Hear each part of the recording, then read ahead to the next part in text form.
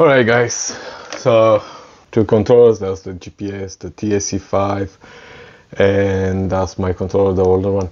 Um, I will download the data. Okay, I apologize for I need to keep it handheld. I don't have my support. So what you're gonna need for this one, because it has only a USB-C port, you're gonna need a USB-C memory stick or a cable. I prefer with that. So this is what you get. Sorry. Okay.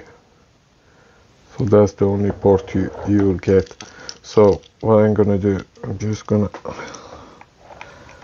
stick this one in and I already opened the, the job so you're gonna go on your job press export uh, the format usually I go for JXL uh, you go here you select your USB drive um, I'll create a new one stop or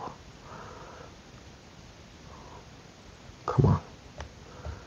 Um, you go on the keyboard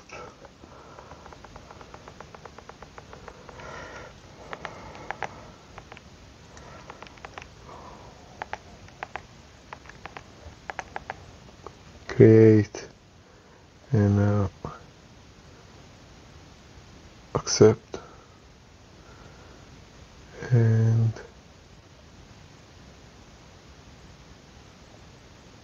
okay.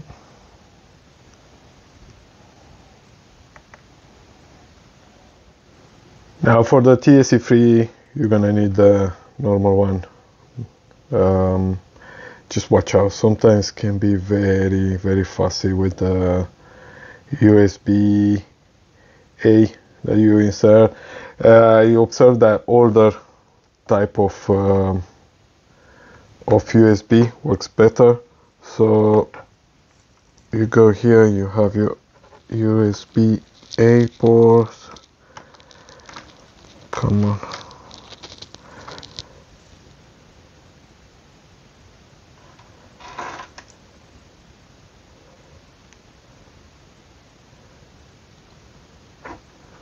have your USB of your USB A port and you open it. You go to job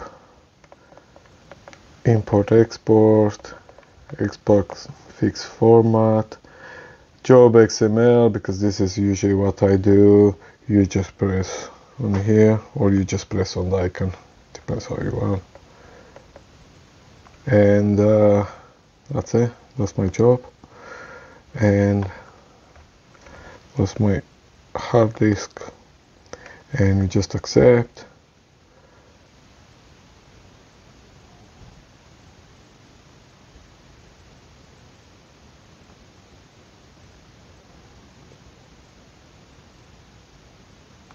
okay good done. By the way guys if you like this content please subscribe.